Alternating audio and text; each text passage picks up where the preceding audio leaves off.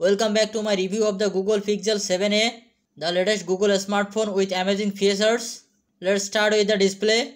The Pixel 7a boasts a 6.1 inch Full HD Plus OLED display with a 90Hz refresh rate.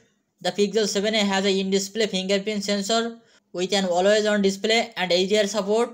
Camera The Pixel 7a has a dual camera setup on the back with a 64 megapixel main OIS camera and a 13 megapixel ultra-wide camera.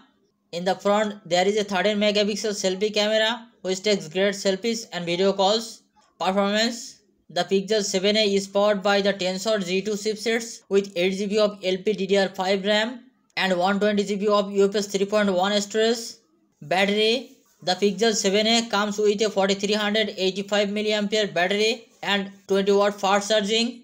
Design The Pixel 7a comes with IP68 water and dust resistance with plastic back. It comes in three colors snow white, charcoal black and sea blue. I hope you found this review useful. If you think this video is useful then please subscribe our Tech Garden channel and hit the like button. Thank you so much see you in the next video.